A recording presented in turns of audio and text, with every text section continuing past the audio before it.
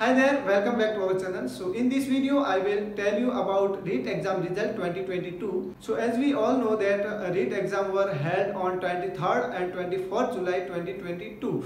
And if you have took this test and waiting for your result and want to know how to check online result, then don't uh, skip this video and uh, watch till the end because in this video I will tell you how to check online result of REET exam 2022 and if you are new on the channel then don't forget to subscribe and press the bell icon for more updates. So let's get started. So friends whenever you want to see online result then you have to open google in your mobile phone or laptop. Then search rbse whenever you search you find lot of options here but in the second line you can see board of secondary education rajasthan.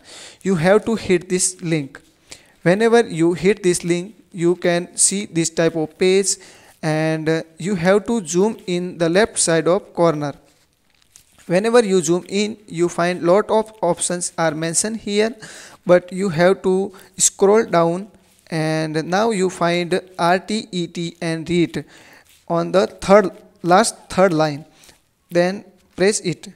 Whenever you click on this link you will find a new page here and you can see here the result of past years uh, like uh, 2011 2015 and 2017 so friends as we all know that uh, 2022 REET exam result is not declared but whenever it will be declared by the board then option is mentioned below like uh, 2017 and uh, whenever you click on that particular link and you will find your result.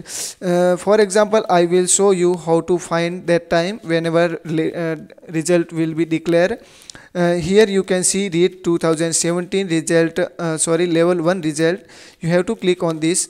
Whenever you click on this you will find a new page and uh, here please enter your roll number. Whenever you type your roll number here and click on the submit button then you will uh, show your result instantly. As it is you have to do with 2022 result whenever uh, link is mentioned below. So i hope friend this video has been helpful for you. So please don't forget to like subscribe and share. So thank you